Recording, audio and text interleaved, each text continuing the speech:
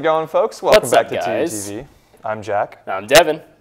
So, did you go to uh, Oktoberfest last weekend? I man? did not. Did you? Dude, the biggest thing in Tulsa all year? Yeah, I went. Oh my gosh. Yeah. no, it was, it was it was cool. Have you been yet? Like in the previous years? no. Yeah. I think I asked you that last I, time. I have actually never been. you so. should you should check it out. It's pretty cool. It's it's kind of dirty and loud and messy and gross, but you know. So what's so good about it? Um, I don't know. no, it's like they have good food and stuff. I don't know. I enjoyed it. What what what you have there?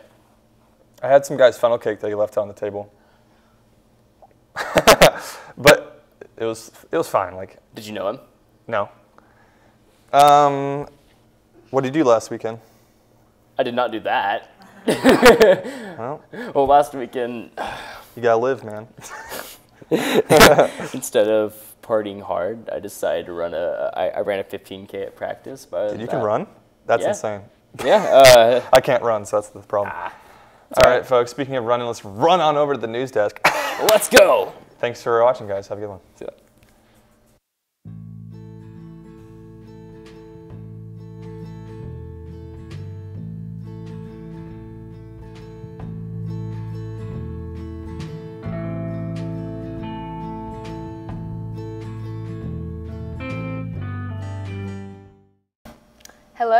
Welcome to this week's segment of TUTV News. I'm Hannah Horton. And I'm William Bennett. We got let, plenty of interesting bits, so let's get to it.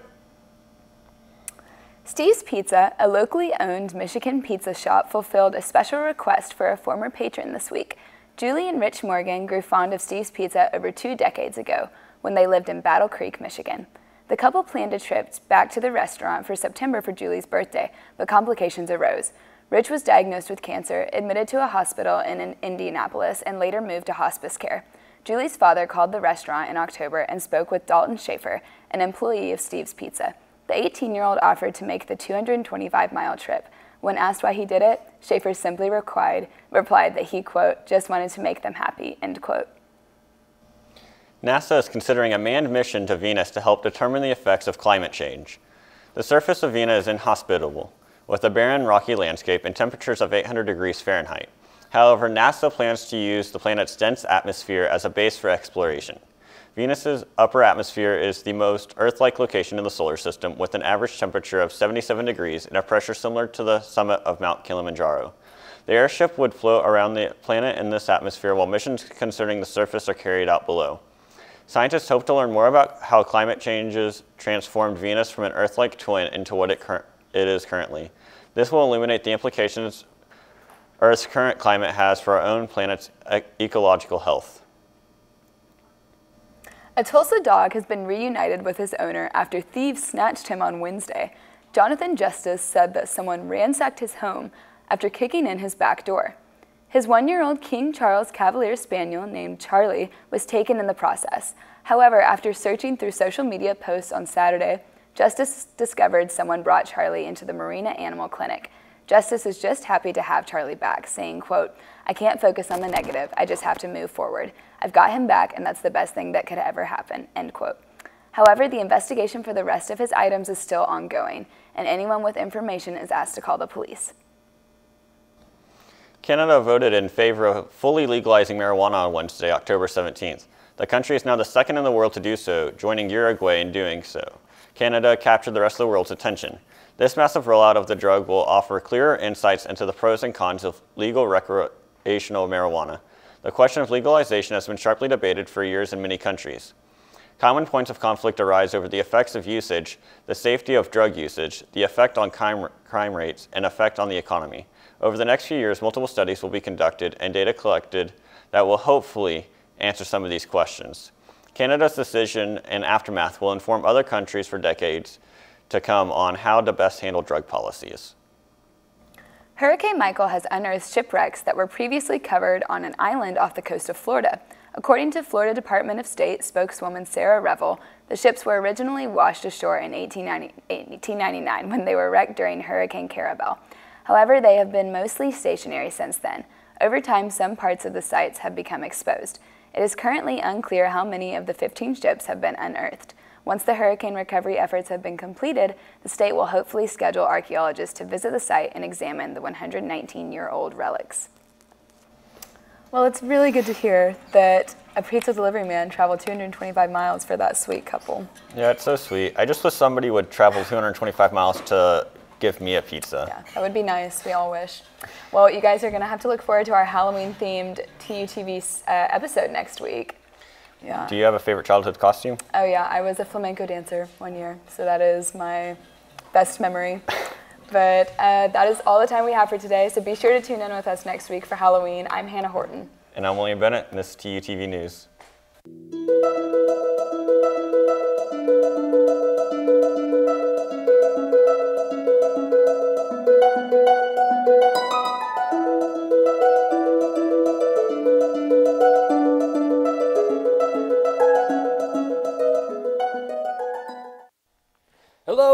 And welcome to the interview segment of TUTV. Once again, I'm Devyn, and we're going to talk homecoming with you guys with our very special guest, Stephanie. Hey, Stephanie, how are you doing Hi, today? I'm good. How are you? I'm doing great. Can you tell us a little bit about uh, homecoming and what your job is with them? Yeah, sure. Well, first of all, thanks for having us. Um, I'm the uh, alumni chair for Homecoming this year, and Homecoming 2018 is coming up on November 1st through the 4th. Uh, this year we have a really fun theme. It's Rock You Like a Hurricane.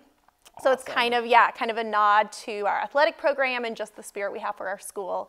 And of course, we have lots of fun events planned for um, that whole weekend. That's awesome. So you tell me a homecoming celebrated first through the 4th? Mm-hmm. yes. Awesome. So tell me a little about the events that happened on, on those days. Okay, well, our biggest events um, happen that Friday and Saturday. So on November 2nd, we have our pep rally and our bonfire, which is a big annual TU tradition. Um, Student Association is helping with that this year. We are really grateful to them um, for being our sponsor for the pep rally and bonfire. Uh, but that event is Friday night, so on November 2nd, it starts at 7:30, and um, it's going to be really fun. After that, there's TU on Tap, which is downtown at Albert G's. So kind of a fun time for alumni that are back in town to reconnect with people they haven't seen in a while. Um, lots of fun things going on. Well, that's awesome. Uh, can you tell us a little bit about your job setting up for homecoming and what all the production goes into making this massive festival? Sure. We have a committee of about 30 to 40 volunteers um, that help put this together, and um, we just kind of help with everything that goes on that week. So, from um, kind of smaller tasks like judging the street painting um, and judging the yard decks that everybody's going to be doing to bigger things like running the tent party that's going to be going on on Saturday before the game, which everyone is invited to, by the way. Um, that is 3.30 to 5.30 on Saturday. It's a big alumni association um, like tailgate. So you guys will definitely want to come out to that. Awesome. So the tent party is filled with alumni everywhere? Um, so it's hosted by the Alumni Association, but any of these events are open to anybody that wants to come. So we have a big tent with food and we've got giveaways, and so we just welcome everybody to stop by while they're tailgating on Saturday. Awesome. So for people who wanted to come in that aren't students, Mm-hmm. uh, how much are the prices for alumni and then outside of that even? So Um, all of the events for homecoming kind of vary. The tailgate is free though, so anybody can stop Awesome. by for that. Yeah. awesome. So a lot of the pre-festivities are really cool. So uh, you mentioned that there's a lot of in-depthness to kind of working with it, even from judging. Uh, what was it? The street Um, I was talking about street painting. Tell yeah. about that. What happens there? Um, that's student led. So Oh, yeah, okay. yeah, that's all the different student organizations So um, right in front of the stadium. Events going on all over. Uh huh. Yeah, like there's all time. sorts of things going on. Yeah. Um, I'm trying to think of what else to tell you. That I mean, we want everybody to come to the game on Saturday. Absolutely. Um, so of course we want to cheer on the Golden Hurricane. At halftime, we're going to crown a homecoming queen, homecoming king. So that's going to be really fun, of course, um, and we help with that. So. Awesome. So, uh, what's you guys' part in that? Are you guys help deciding that, or like? Um, no, votes, so or- that's all student vote. Yeah, we did help with the actual application process and the interviews. That was all um, the homecoming committee. But now it's up to student votes, so we'll see what you guys decide, and um, we'll crown those winners at the game at halftime. Awesome. Well, me being so new, I've I've heard a lot of things about the homecoming. I heard it's a massive turnout. Do you know, like, is it always this grand, and how many people show up? Um, you know, we have hundreds of people that come back for it. It is such a big time for people to come back, um, see what's going on around campus. Uh, we just we love to see the alumni that have left Tulsa and want to come back and reconnect with the local alumni. It's a good chance for the students to interact with the alumni. Um, there are some other events like SA's, having a breakfast with alumni and students. So it's just a nice time for everybody to connect together. That's awesome. And you're a Team TU graduate, I am, yeah. So what's one of your favorite parts personally about the homecoming week? Oh, you know, I um, the pep rally and the bonfire is one of my favorites. Um, I remember going when I was a student, and it's so much bigger now. Um, SA is actually building the bonfire next Thursday, and it's huge. It's out on Dietler Commons, which was the U when I was here because I'm old. Um, but the bonfire was much smaller back then. Now there are tents set up, there's food. Um, there's a huge pep rally, and so it's been really fun as an alumni to see how that has gotten a lot bigger um, in the years. Yeah, that's awesome. I bet to see how that's evolved. Well, I personally am very excited, and I bet all you watching are excited as well. Be sure to tell your friends and family to join us. Uh, say November 1st through 4th? Yeah, November 1st through 4th. Awesome. Putting a lot of work in, guys. Be there to cheer on the Golden Hurricane on their game, and then also join us on all the festivities, guys. Thank you so much for uh, joining the show, Stephanie. Yeah, thanks for having us. Awesome. No sports.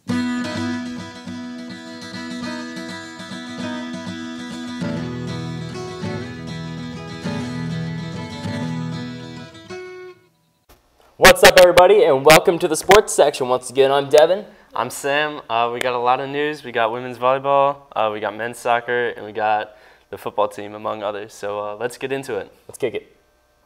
The Tulsa Golden Hurricane football team traveled to Fayetteville to take on Arkansas this past weekend. Tulsa missed two field goals in the first quarter. The Razorbacks eventually found a foothold in the game, notching a field goal and a touchdown through the air just before halftime. The Golden Hurricane offered little in resistance, amassing a total of 12 yards of offense in the third quarter. Malik Williams added a short touchdown run to make it 20 to 0. Another late field goal from Arkansas would see the game in 23 to 0, sending Tulsa to 1 and 6 on the season. The Golden Hurricane will have to win the remainder of their games if they want to secure a bowl game. Their next game is at 6 o'clock at home this Saturday against Tulane. The Golden Hurricane men's soccer team is in the thick of its conference schedule. After a week off, Tulsa hosted the Memphis Tigers at Hurricane Stadium on Saturday night. The Golden Hurricane had momentum early but failed to put together any solid chances. Memphis had more opportunities to score throughout the game, but both teams would fail to record a goal through 90 minutes. For the fourth time this year, Tulsa would concede a goal in the overtime period. They were dealt their third conference loss of the season. McIntosh's group will now turn their attention toward ORU, who they face on Tuesday night at ONEOK Field. The Tulsa women's soccer team spent this past weekend on the road. Thursday night, the Golden Hurricane were in Philadelphia to take on Temple.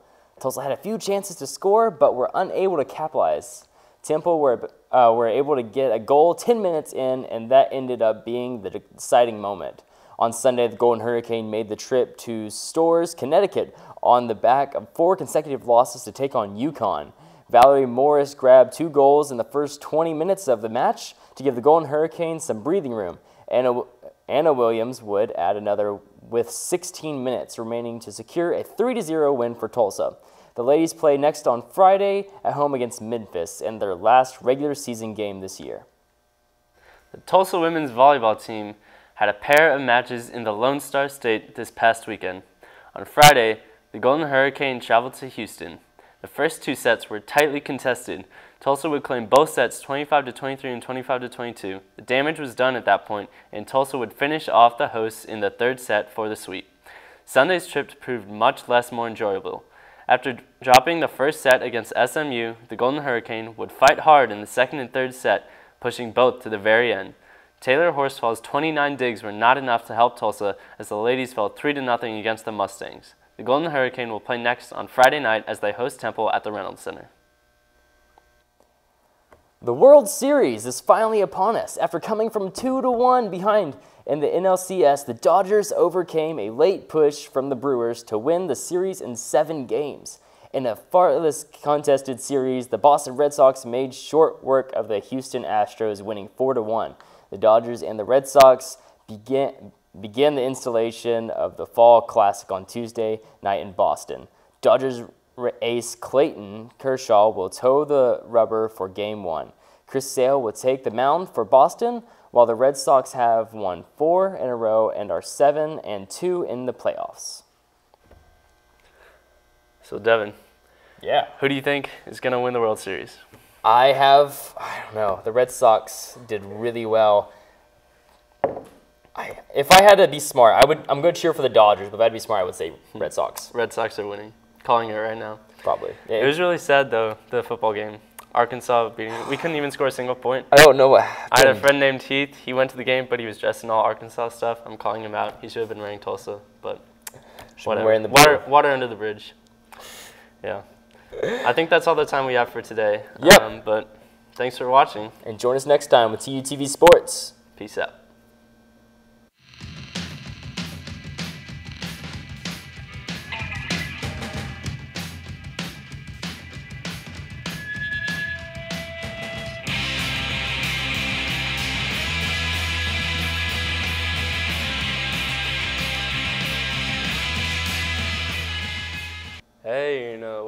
TU Entertainment, y'all. I'm Alex Reed. And I'm Miles Fisher. We got a bunch of hot bops for you today. So, welcome to entertainment. Let's go. A group of award winning musicians have recently collaborated to create an album for children that have been separated from their families at the border. Some of the creators of the album include Lynn Manuel, Miranda, Josh Groban, Idina Menzel, Audra McDonald, and Laura Benanti. The new bilingual children's album will be released on October 26th, and funds will benefit nonprofit organizations helping to reunite the families. Nanti, who headed up the project, has described it as a labor of love. All of the artists that contributed to the album titled Sing a New Home hope it can lift the spirits of the separated children. Well, well, well. Cardi B is back again. But this time, it's not for more drama. Cardi seems to have been trying to redeem herself after several weeks of being in the news for sticky situations, including, of course, her fight with Nicki Minaj at the New York Fashion Week that we covered a while back. Cardi is spotted handling, handing out free winter coats in Brooklyn, New York this past Thursday after temperatures dropped unexpectedly. Cardi commented, quote, I didn't know it was going to be so big. My homeboy Chuck, he told me, hey, let's give out coats to our community. And I said, I'm pulling out. What's up? End quote. It's refreshing to see Cardi in the news for a kind gesture this week. As many of you may have heard, Ariana Grande and Pete Davidson broke off their engagement last week. The couple first appeared in the spotlight when they announced their engagement after only two weeks of dating. Grande made her first public appearance since the breakup at a taping of NBC's A Very Wicked Halloween. Grande also announced on her Instagram story that she would be taking a break from social media, saying, quote, It's hard not to bump news and stuff that I'm not trying to see right now. It's very sad and we're all trying very hard to keep going, end quote. It sounds like Grande is still adjusting to her life after her breakup with Davidson. Speaking of engaged couples, Hailey Baldwin, who became Justin Bieber's fiance in July, has decided to take his last name. The 21 year old model recently registered as Hailey Bieber for her new clothing line. Additionally, there have been speculations that Baldwin and Bieber actually did tie the knot secretly in September at a New York courthouse. The new Hailey Bieber, who is a daughter of SNL's Trump impersonator Alec Baldwin, and Justin have not confirmed the secret weaponing, this secret wedding, but they appear to be happy, and that's important. 56 year old singer Paula Abdul took a bit of a stumble during her, first, during her concert at Biloxi, Mississippi on Saturday.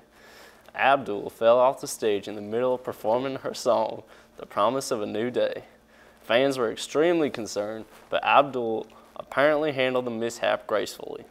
One fan and audience member described the incident saying, quote, after the fall, she got back up and never skipped a beat, end quote. With no injuries or other major concerns despite the dangerous fall, Abdul is doing well and plans to continue the rest of her tour. TU Homecoming is next week. The theme for the year is Rock You Like a Hurricane. Tons of events will be taking place throughout the week leading up to the big game on Saturday, November 3rd. Julia Johnson, a TU senior, expressed her excitement for this week, saying, quote, I always look forward to the street painting during homecoming. I love getting to spend that time with my friends, eating pizza and painting together, end quote. The week will end with Golden Hurricanes taking on University of Connecticut Huskies, Rain Kane.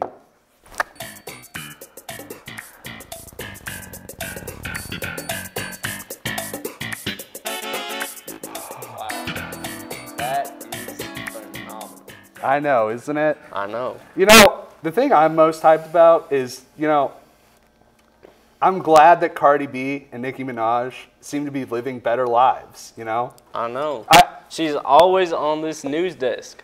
I'm telling you. Yeah, I feel I feel like a disgruntled teacher or something. You know, you sit in an office and it's like, uh, why do you keep coming into my office? I don't want to keep seeing you here. You're trouble and a nuisance, and that's not okay. You know, she just wants that attention though. I mean, who doesn't? Maybe she just wants to hang out with you. That's why she's sending all these news stories here. She wants to be Well, on that note. I think we're pretty good today for entertainment. We'll see you next week, everybody. Peace out. Hey folks, today we're here on TU's campus. We're just going to be asking some people some questions, some trivia, and we'll see how they do. Sure. Um, uh, one, one sec, let me get my notes out. You're all good. So, uh, who, who, who was the second? Uh, yeah, who was the second president of the United States? Uh, Thomas Jefferson. That's what I thought too, but it's wrong. It's John Adams. Sorry. John Adams. Uh, what country is Zimbabwe in? Zimbabwe is a country. What country is this? Sorry, let me take a look. Yeah, it's fine. Take your time. Are you serious? Yes, please answer the question. You have 10 seconds remaining. Oh, well, I mean, it's the Fortnite map. That's it. Excellent. Who was the second president, uh, president of the United States? One of those things where I look stupid. I know the answer. You don't have to look stupid. And I was wondering, like, if later you want to like hang out and we could just kind of like chill, like just to get the, my mind off things. Um, no. Hey, how's it going, guys? I'm tired. Hey, how's it going, man? You want to do an interview real quick? It's fine. It's okay.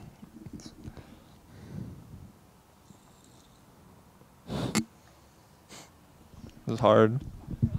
Is that it? Yeah, that's it. Oh, okay. Hey, welcome back, folks. What's up, guys? I didn't know we had a fellow Texan among us. Shout out to the guy in red in the previous segment. You know what I mean? That was entertaining. yeah, makes sense. Right? Entertainment As it segment, should be. Right? The guy in the glasses in the previous package was a serious hunk. Don't know who that was, but I know. it was me. No, it wasn't. Yeah, it was. So, uh, how'd the interview go? Interview. It went great. Good. I think I think everybody on watching is gonna love it. You feeling more confident now? Oh, absolutely. Oh, why? Yeah, the camera was like, Oh, "What's up, everyone?" welcome back. So, uh, man, I didn't know we had- another Texan on the on the scene. Shout out to the guy wearing red earlier. You know I know, mean? right? That was really entertaining. Fellow Southerner. Can you do a Texan accent? Can I? You don't have to. You don't have to try. I thought fine. about trying, and I just was like, no. Well, the, like the other week, myself. the other week we went back to I went back to Texas and went to the Texas State Fair, and man, Really? is that place Texan? There's like a giant effigy to like a tech, uh, cowboy called Big Tex that just stands there, and uh, every once in a while he talks. He goes, "I'm Big Tex," and it's great. I'm Big Texan. Wow. It's not bad. Three years ago, he, he burned down, and like the pictures of like this giant Texan just bur- like in flames is one of the scariest things ever. it burned down. Yeah, yeah. Oh, that'll send a message. Yeah, it was the scariest thing. You're looking electrical fire. Some but- Sooner fans got it crossed. Yeah. what you got? What you got going for your hometown, man? You got any uh, landmarks? Any like Big Tex? I don't think. I mean, no. We just got. You got, you got McDonald's at least, right? No, it's actually the town next door. You don't have We McDonald's? No, but we got No two dollar generals. that Okay, makes that's not bad. mean, Like, but it kind of sucks that they make you pay two dollars, like instead of one. Am I funny, guys? Okay. a two dollar general. Yeah, Dallas is a, definitely a superior city. Yeah, yeah. It's, To any city. massive. It's really good. You should come by. Come on down. I hear it's got great shopping. Like I hear it's where a lot of people go. Yeah. All right, guys. Thanks for watching uh, this episode of TUTV. I've been Jack. I'm Devyn. Uh, hope to see you guys next week. Love you. Later.